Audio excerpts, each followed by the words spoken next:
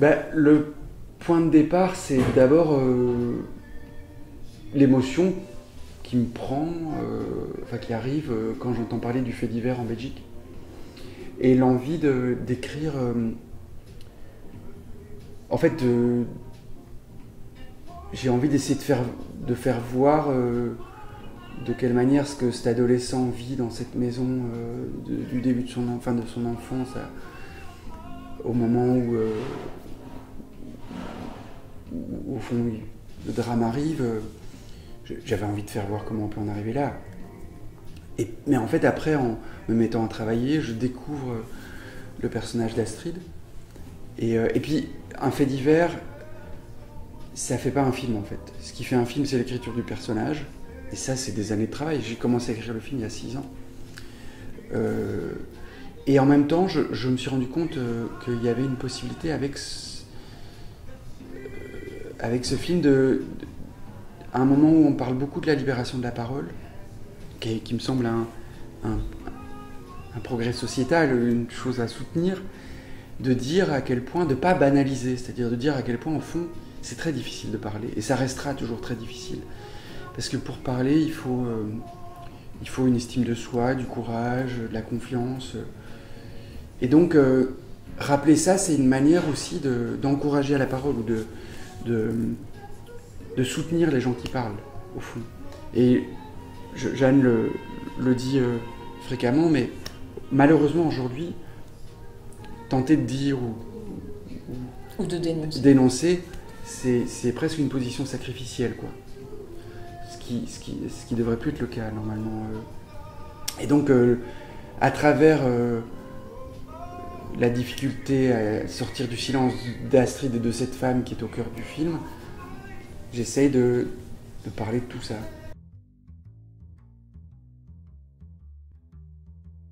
Avec un récit, une histoire comme celle-là, si je suis impudique euh, ou euh, trop démonstratif, euh, voire un peu exhibitionniste, en montrant des scènes, des scènes de crime des, des choses assez traumatiques au fond pour le spectateur, ce que je provoque, c'est une impossibilité de réfléchir. Et donc d'être avec le film, d'entrer en empathie avec les personnages, et donc c'est hors de question. Puisque l'enjeu, c'est de d'amener le, le spectateur à, à être l'auteur de- du film aussi. Faire confiance au, au à spectateur, la capacité de- d'imagination du Ouais. spectateur. Moi, en tant que spectatrice, j'adore ça en tout cas. J'adore me, me sentir euh, considérée en tant que regard et me dire, ouais, voilà, j'ai pas besoin de pouvoir et- pour comprendre. Et, et puis quand vous, si vous, enfin, se retrouver sur un plateau euh, à faire des jouer, jouer des scènes de, je sais pas, de criminalité sexuelle ou de violence, moi ça me met très mal à l'aise. Franchement, je- j'ai une, dans un seul film, j'ai dû tourner une scène avec une arme à feu et je me trouvais pas crédible quoi. Je, je- je- je- c'est-à-dire que je n'ai jamais, je n'ai jamais tenu une arme à feu. Gendarme vie. et voleur. Je, je, Ouais. Voilà. Je peux vous parler de la bourgeoisie, d'où je viens. Je peux... En fait, en général, on filme quand même bien ce qu'on connaît. Quoi. Ou alors on est fasciné, et Mm. c'est autre chose. Mais et après, je peux, je peux trouver, euh, je peux être admiratif de Tarantino. Ah mais bah, alors, c'est autre chose. Le, le- le fond n'est pas le même. Il n'y a pas une profondeur. euh, c'est du spectacle. Ouais.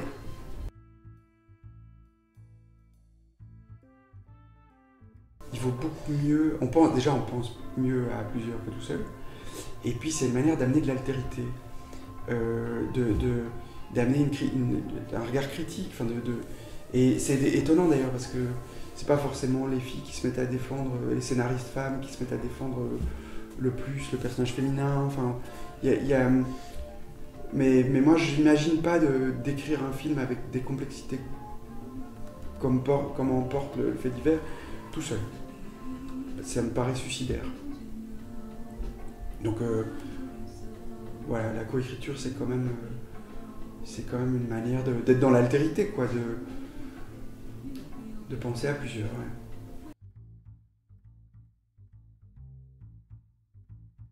Pour les deux films que vous citez, c'est-à-dire Les Intranquilles et Les Communes du Couple, on n'a pas affaire à une tragédie. Ouais. Or, en l'occurrence, là, quand je découvre le fait divers, c'est- de la pure tragédie grecque. Euh, et donc, euh, d'autant d'autant plus que le, le crime euh, qu'a commis un des membres de la famille, un des enjeux du film aussi, c'est de faire voir à quel point il est complètement dévastateur. Au fond, même ceux qui sont dans le silence sont peut-être, et, pas directement les premières victimes, sont déjà contaminés. Quoi. Et, le silence est une forme de contamination.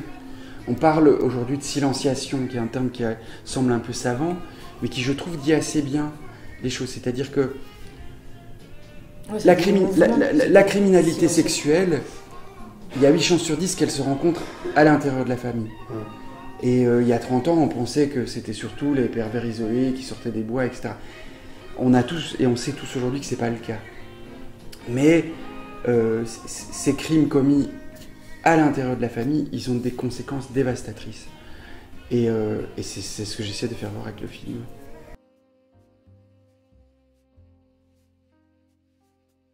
quand je découvre le fait divers, il y a une chose que je me dis très vite, c'est que je peux, pour essayer de trouver la justesse, il va falloir être pudique et sobre. La façon d'écrire avec pudeur, bah, il y a des outils. Le premier, c'est le, hors-champ. Le deuxième, c'est travailler en plan séquence de manière à permettre aux acteurs de vraiment de, déployer leur, leur capacité, leur imagination créatrice, quoi, leur, leur nuance. Euh, et, puis il y, des, y, a le rythme aussi.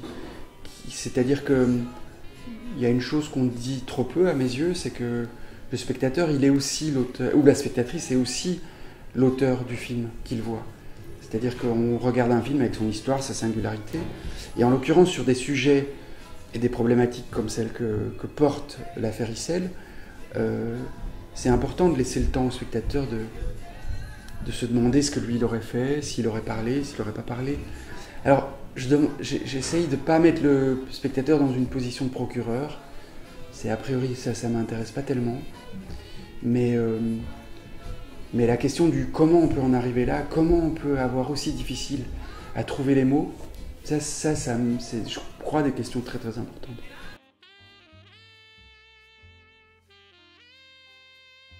Alors, euh, Daniel, lui, est plus un acteur qui amène euh, son charisme et, euh, et, euh, et, qui évidemment n'aime pas trop faire 36 prises. C'est pas, c'est pas. mais chacun. Y a, la, seule règle que je connaisse de direction d'acteur, c'est qu'il faut s'adapter, qu'il y a autant d'acteurs, de manières de diriger des acteurs qu'il y a d'acteurs. C'est ça la règle. mais.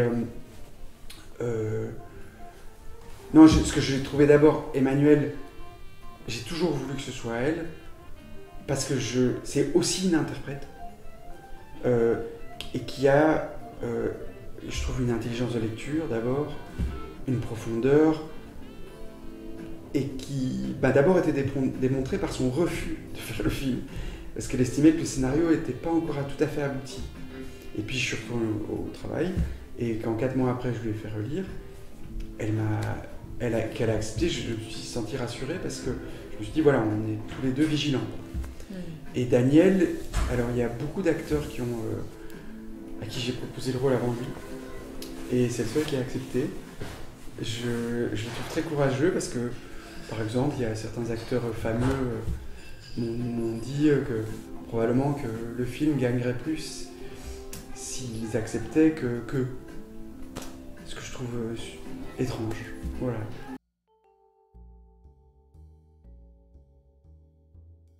Euh, compliqué. En fait, euh, Joachim a une façon de, diriger ses acteurs qui est, euh, qui est très chorégraphique, je dirais presque. et notamment, vous parlez de ce, plan séquence qui se passe entre trois, trois bureaux, quoi, en gros. moi, je me suis vraiment laissée euh, je me suis abandonnée à son sens du rythme, à sa, à sa manière de, euh, de voir, bah, là, il faudrait que tu accélères un petit peu. C'était assez technique, en fait. Euh, plutôt que des intentions de jeu, il m'a plutôt donné des, des, intentions de, des intentions presque musicales. Et ça, j'ai quelque part, ça induit après une émotion, ça induit, euh, ça induit un, jeu ou quelque chose, mais le fait de marcher un peu plus vite ou, de dire les choses un peu plus lentement. Euh, plus fort ou moins fort Ouais, voilà, plus fort. Enfin, j'étais, je me sentais un petit peu comme, comme une table de mixage, quoi, avec des, avec des, des potards. et j'ai beaucoup aimé ça. J'ai beaucoup aimé euh, être, me sentir disponible à la vision de, de quelqu'un d'autre, enfin de, de, de Joachim, quoi.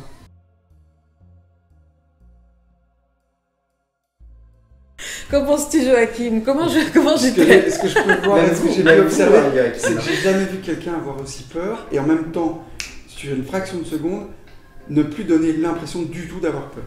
Ça, je- ça franchement, j'ai jamais vu. Oui, j'étais très impressionnée. Euh, pas par une. euh, Enfin, Emmanuelle DeVos m'a vraiment détendue, je veux dire. Euh, elle avait un comportement avec moi qui était absolument génial. Euh, on se tenait beaucoup les mains et tout. Mais c'était euh, par le fait d'être sur un plateau comme ça pour la première fois de ma vie, avec autant de monde. La situation en elle-même était vachement impressionnante et j'étais à deux doigts de pleurer de peur, quoi. Mais ça fait aussi partie, je pense, de, mon moteur. Et avant un concert, je suis malade de trac. Enfin, c'est quelque chose, c'est quelque chose qui fait partie de. C'est peut-être aussi ce qui t'amène à être aussi bonne dans le cadre. non, mais c'est vrai. Du coup, tu trouves tes appuis. Ouais. Enfin, je ne peux pas. Mais moi, ça me semble. Les grands joueurs de tennis, moi, je sais un truc que j'admire beaucoup et j'en ai. Enfin, je sais quelque chose que je connais très bien. C'est des gros- les très grands champions, c'est des très grands angoissés. C'est des, très- des énormes inquiets. Et en fait, le, le- le terrain, la règle, le cadre, les espaces définis, ça les rassure. Et ils se déploient à l'intérieur de ça. Ça me parle.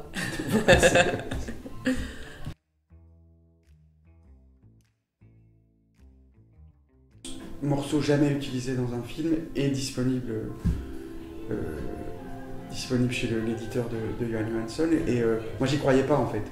Quand on avait demandé euh, si on y avait accès, je me disais, bon, ça va être hors de prix ou ça va être inaccessible. Et tu l'avais en tête euh, dès, Je- dès très les- vite. Ouais, très vite. très vite, même un peu avant de tourner.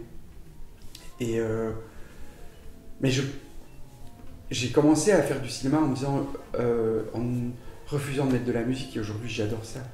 Je trouve que ça accompagne le spectateur. euh, C'est une manière d'amener le spectateur à un lâcher prise et à une à l'inconscient en fait. La musique, c'est vraiment l'art qui amène le plus directement euh, le, public et le spectateur à, à son inconscient. C'est- c'est plus la rationalité qui résonne avec la musique.